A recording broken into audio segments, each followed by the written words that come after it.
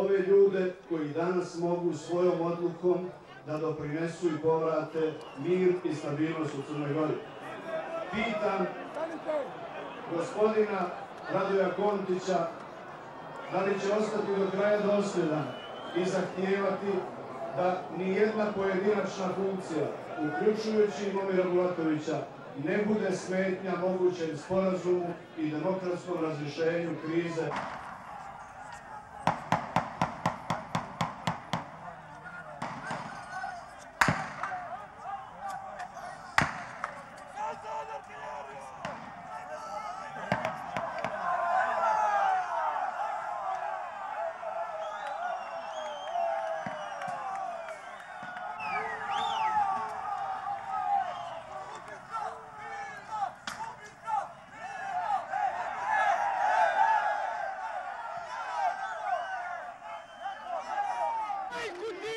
Египетско!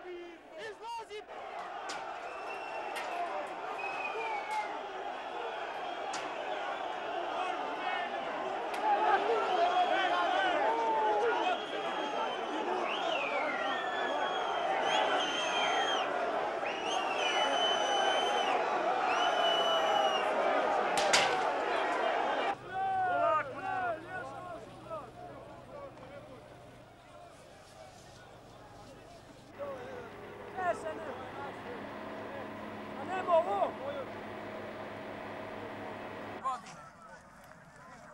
Snimi bojevi meni! Pravila se sad u zadnje vrijeme. Bila je.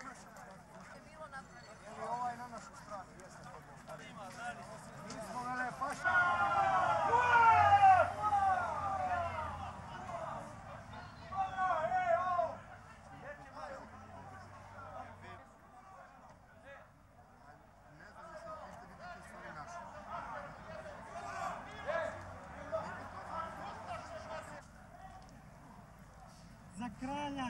Evo neki bre. Vidio što radi? Vidio što radi mafija, majko i...